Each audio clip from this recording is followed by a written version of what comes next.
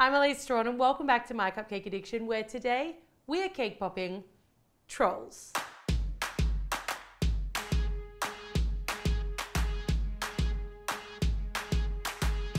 To make your troll cake pops, you're going to need white candy melts or melted white chocolate. I'm using chocolate cake pop dough. I'll link to the recipe down below. You'll need oil-based food coloring. I've got pink and blue, black candy melts, M&Ms, Hershey's Kisses, snap seal bags, some toothpicks, and of course cake pop sticks. I like to dress my cake pops up with decorative straws, so I'm gonna use some of those. And if you do want an optional extra here that makes the hair a little bit easier and a bit more troll-like, try some cotton candy or fairy floss. To make your cake pop dough, you wanna take crumbled chocolate cake, and I like to use ganache, which is essentially a mixture of cream and chocolate. Add the two together and then mix them through, kneading until you get basically a really delicious truffly chocolate dough. Let that chill in the fridge for about 30 minutes before you try to use it. Once your dough has chilled in the fridge, it'll be quite firm. I'm just gonna cut mine to get the shape started. Always easy to roll and work with when it's chilled. I feel like this is almost the shape that I want. I could eat cake pop dough like this. It is incredibly delicious. Start with your ball and then you can just kind of squish it out and just taper it on either side to get that lovely ovally shape. I don't want to say they have football-like heads, but they have football like heads. Something like this guy, like an egg. I'm gonna put those ones back off into the fridge for about 10 minutes. You don't want them super cold, but you do want them chilling out. Our trolls are chilling out. I chose to use white candy melts and color them with a little pink and a little blue because I want different shades of pink and I didn't want to have to get a ton of different colors. So I'm gonna start super light and then add more and more color as I get to the details on each of my trolls to get those variations of pink and blue. M&Ms. You gotta cut them in half You're probably going to break a few. You have to eat those ones. It's tough. Is there any safe way to cut an M&M? Oh, that is perfect. That never happens. All right. I'm the M&M cutting master. Can I replicate that perfect cut? No. Where's a shame? That was a real shame. So you're gonna have to cut a few, eat a couple, cut a few, but you need two halves of an M&M and then I'm gonna take them, dip them into a tiny bit of chocolate and pop them in the sides of my cake pop balls to make troll ears. Because they kind of have those cute little sticky outy ears. By the way, these are the only kind of trolls that we should have on the internet. Just saying. Once you've got all your little ears in, just give them their own personal space on the parchment. Trolls like personal space. Some trolls. And then I'm gonna take a cake pop stick. I'm gonna dip it about a centimeter into my candy melts and push it up into my troll's head. This is a good opportunity to put your little decorative straws on. So I like to slide it up the cake pop stick while my little seals are still wet, and that way the chocolate seal will affix my straw in place. Those guys can go off into the fridge for about 20 minutes. You want them to be firm to touch, but not rock hard before we dip. If they're too cold, they'll crack. If they're not cold enough, they'll fall off. So 20 minutes is about perfect. Our little trolls are set. I've got a little cake pop stand that I just made using a polystyrene block. I actually showed you guys how to make this on Facebook Live, so if you don't follow me there, there are tons of just fun little things that I do live as I'm making them in preparation for these videos.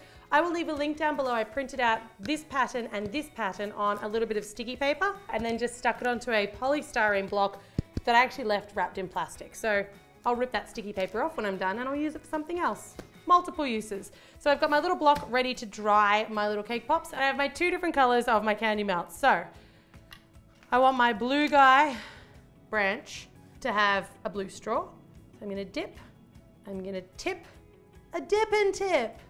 And then I'm just gonna pull any excess off and give them a nice little tap. Dip, tip, and tap.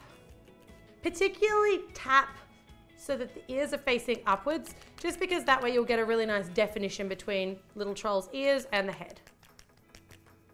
Just gonna run my finger around just to get a nice, neat finish, and then off into my cake pop stand to set. Poppy will be pink, of course. Dip, tip, and tap. And continue until all of your trolls are dipped, tipped, and tapped, and then we'll decorate. I decided last minute to add in a little bit of like an aquary tealy green color because Harper has rainbow hair. So of course she's gonna be my favorite troll because I love a good rainbow. So I'm just adding a third color into the mix, which you guys can use or not use. Make whichever of the little troll characters you like. Make your favorites. I'm gonna show you a bit of a different hair technique for Harper too that I think you guys are really gonna like.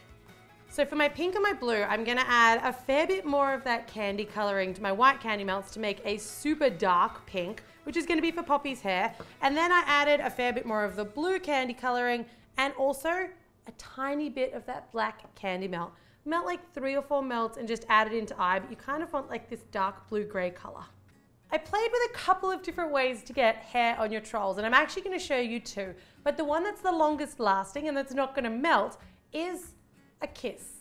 I know we're kissing our trolls. We have a Hershey's kiss. So I'm going to take a little bit of that darker pink, put a little dollop on the back of one of my Hershey's. It kind of just looks delicious. And I'm going to put that on top of Poppy. One of my blue ones on top of Branch. And Harper stays bald. For now, anyway. She gets the best hair, it just takes longer to come through.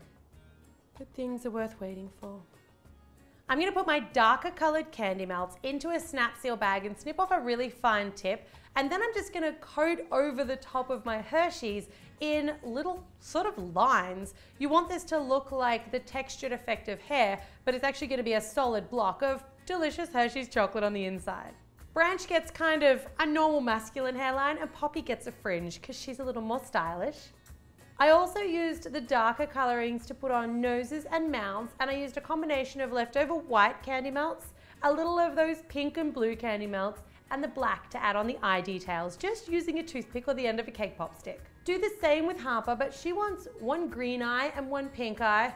I'm not sure why that is. I'll see the movie and I'll find out. Finally, as an optional extra, Poppy's kind of stylish, I decided to add just a little bit of the green as a bit of a flower crown with some little blue flowers, but you guys can decide which of the scenes from the movie you liked most and how you want to dress your little trolls up. I've sized up some templates and I'll leave a link to those down below. Just cut around them and then attach them to your straws or cake pop sticks with a little bit of tape to make the bodies. Harper's hair is going to be candy floss. We call it fairy floss in Australia because they say that it's thin enough that fairies can use it as dental floss, which I think is kind of cute. I bought pre-packaged rainbow fairy floss, and you want to do this right before you're about to serve your little cake pops. Take the fairy floss and try to touch it as little as possible and find a bit that has all four colors of the rainbow. Put a little bit of green candy melt on her head, pull them together to resemble troll hair and stick them straight down onto the candy melt and then just use a zip seal bag to go around the outside edges so that you're kind of joining the hair and Harper's head together so it doesn't look so stuck on. Those are your three adorable Trolls cake pops. I'm in love with the candy floss hair. I know it's a little much, but I like a little much. I hope you guys enjoyed today's video. If you're not already subscribed to the channel, make sure you do for new videos every week. And as always, thanks very much for watching. Do trolls really live under a bridge?